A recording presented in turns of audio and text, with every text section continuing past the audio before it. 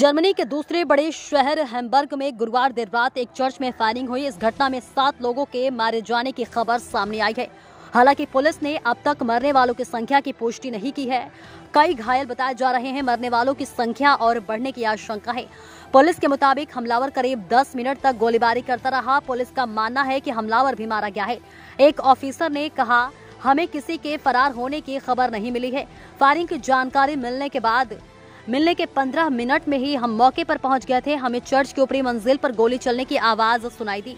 वहाँ पहुँचे तो एक शब मिला। हमें पता लगता है कि ये हमलावर का है। फ़िलहाल इसकी पहचान नहीं हो सकी है। पुलिस ने बताया कि यह घटना ग्रोस बोल्टे बोरलेट इलाके के एक चर्च के इहोवा विटनेस किंगडम हॉल में हुई।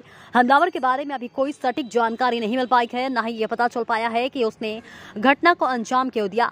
हैम्बर्ग पुलिस ने ट्वीट किया, इस फायरिंग में कई लोग गंभीर रूप से घायल हो गए हम बड़ी संख्या में सुरक्षा बलों के साथ साइट पर है। पुलिस ने बताया कि सीसीटीवी खंगाले जा रहे हैं चर्च के आसपास की। सड़कों की घेराबंदी कर दी गई है और मौके पर भारी पुलिस बल तैनात है। पुलिस के मुताबिक कई लोगों को गोलियाँ लगी हैं।